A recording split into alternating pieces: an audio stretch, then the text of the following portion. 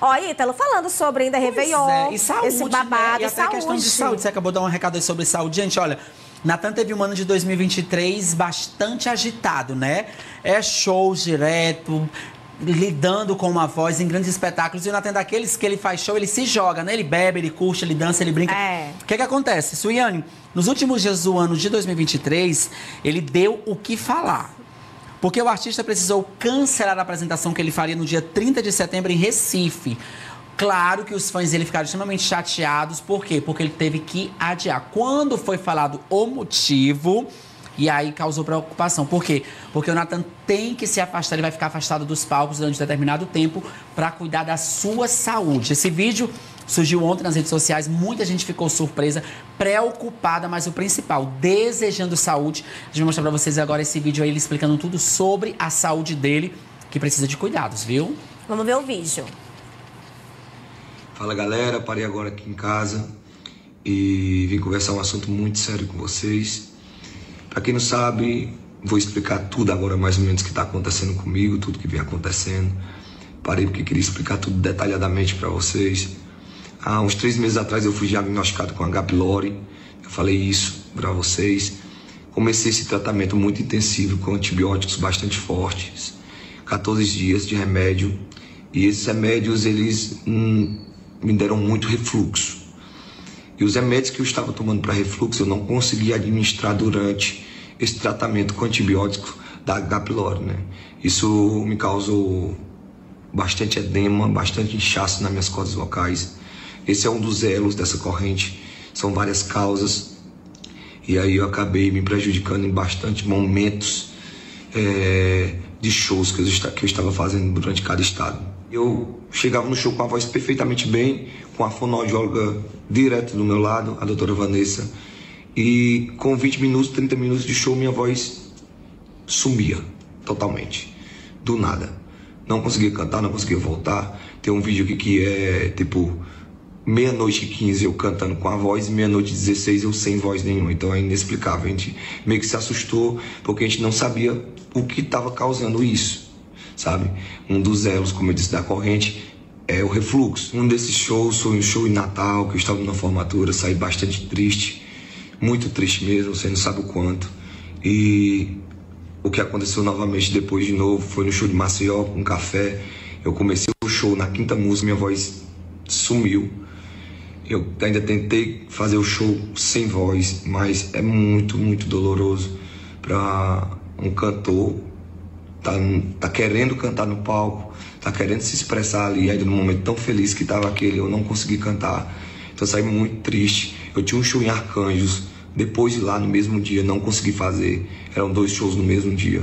Saí ainda muito prejudicado, sem a voz restaurar, sem a voz voltar. Postei até uma foto no avião, acho que vocês viram chorando, tava muito abalado, muito abalado, porque eu queria estar nessa noite também em Recife. Tinha dois shows, um era na praça pública, no Réveillon de Recife, a outra também com os meus amigos do Cavalheira. E, gente, você não tem noção quanto eu tava triste e abalado. Pode ter certeza, se eu tivesse 5% de voz, eu teria ido tentado fazer o show em Recife, assim como eu fui tentar fazer no Rio de Janeiro, que era um sonho para mim, desde moleque, estar tá num Réveillon de Copacabana, levando meu Nordeste para fora. Como eu disse, meu sonho é levar minha música, minha cultura, levar meu Nordeste para fora, e essa foi uma oportunidade muito, muito grande. Eu fui muito bem abraçado pelo Rio de Janeiro, eu não poderia deixar de tentar. E à noite, eu estava tentando de todo jeito, tomei medicamento, tomei injeção, para tentar ficar melhor, para tentar fazer o show em Recife, mas não tinha voz nenhuma.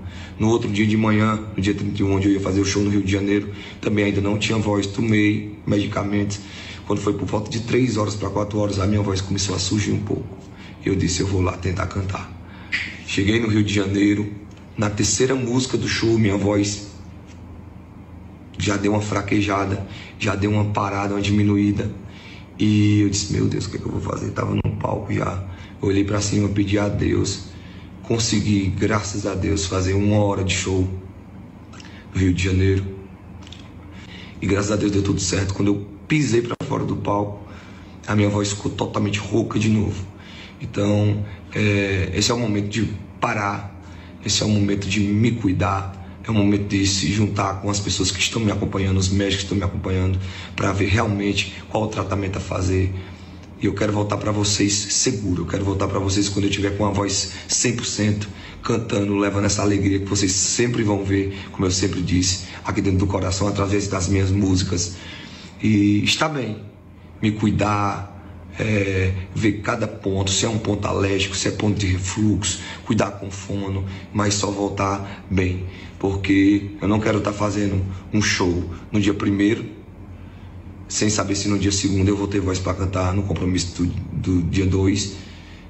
A voz volta no dia 3, eu faço um show no dia 3 e a voz para no dia 4 e eu não faço o show no dia 4, eu não quero estar tá pulando, não quero estar tá quebrando compromisso, não quero que as pessoas estejam achando que eu não estou indo cantar porque, é, ah, ficou doente no meu dia, no dia que era o show da minha cidade, no outro dia não ficou doente. Não quero isso, pelo amor de Deus. Como eu disse, eu vou mostrar o vídeo para vocês como estava minha voz no dia 30. E Recife que sempre me abraçou, Recife que sempre me guardou, fui o artista mais tocado de Recife um dos estados que eu mais amo, nunca na vida que eu iria deixar de cantar aí para vocês, ainda mais se tivesse 5% da voz, tava rouco, gente, você não tem noção, sem voz total, eu teria ido tentar. Não é à toa que tinha um avião fretado me esperando, caso minha voz voltasse para mim ir, e assim como foi no Rio de Janeiro, a gente deixou dois, dois aviões de stand-by para se caso minha voz voltasse, eu ia de qualquer jeito tentar fazer o show.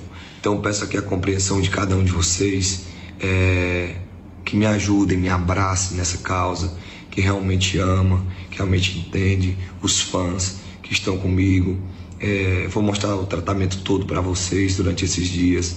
Para o Natanzinho voltar 100%, como o Natanzinho sempre é alegre, nunca me deixei baixar a cabeça, nunca deixei também uma oportunidade de passar por minhas mãos e eu não aproveitar um sonho de infância.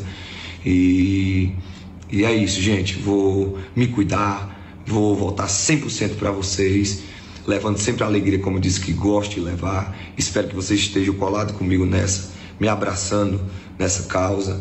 É, deixe seu comentário aqui. Muito obrigado por cada mensagem que vocês me mandaram. Vocês foram minha força. Eu me agarrei em Jesus Cristo e depois em vocês. Cada mensagem que eu recebi me dava mais força para tentar, para tentar fazer o show, para não baixar a cabeça. Então vocês são muito importantes, são combustível, como eu sempre disse. Se não fosse Deus e vocês, eu nem estaria aqui. Então, junto comigo, me abracem.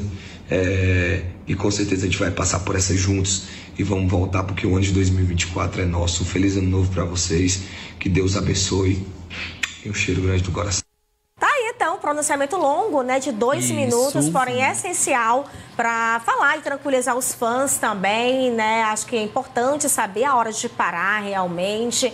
Então, Nathan está dando uma pausa, só uma pausa, para poder cuidar desse probleminha de saúde, né? E a gente deseja de melhoras para ele, Com né? Certeza. Porque ele falou aí, olha, ele disse que tentou de todas as formas, tomou medicamentos, tomou injeções, tomou, mas o problema realmente é muito sério. Então, devido a esse problema ser muito sério, ele precisa ser ausentado dos palcos, das redes sociais. Você viu aí que ele disse que lá em Copacabana só cantou uma hora, porque de repente na terceira música a voz dele já faltou, já não sabe mais o que falar. Então é isso.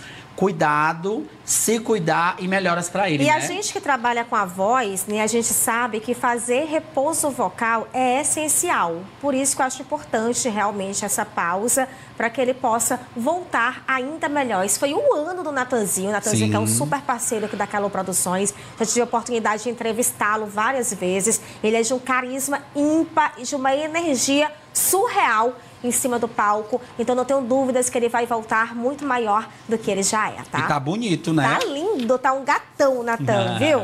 Ah, menino, faria Ítalo. Sim, a Beth faria.